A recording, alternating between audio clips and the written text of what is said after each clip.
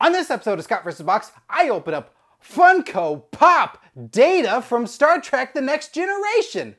He's like William Riker, except he doesn't have a beard and emotions, but he's just like Riker.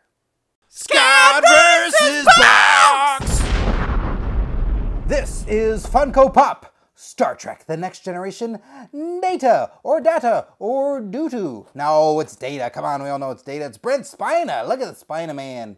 Spina Man, Spina Man, doing all the things that a Spina Man can. You got Captain Picard, Will Riker, Data, Worf, Geordi LaForge, Deanna Troi, Locutus of Borg. Oh, I didn't know that was there. Klingon. So you got all these there, but I saw this and I love Data. I love Data. I, I grew up on the show and it's such a good show. Data, classic. And I, I always like a good Funko Pop where you know exactly who they are. You don't have to look and go, who's that guy?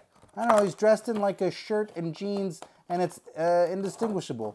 But this, you know, Data's got the yellow eyes with some smudge on it, and the the yellow uh, Starfleet uh, Academy suit, uh, or Star Starship Enterprise. He's not in the Academy. Come on, he's a robot. He graduated him like that. And but there he is, uh, Captain. I uh, emotions. do I have to poop? Oh, classic lines from Data.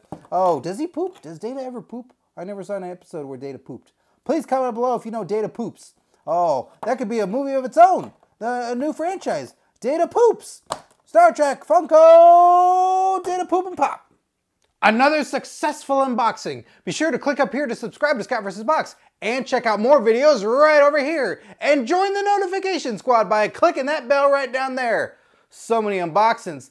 I'm getting too buff. Yeah, you can see it. I mean, you don't need to squint. You can just move on to the next video.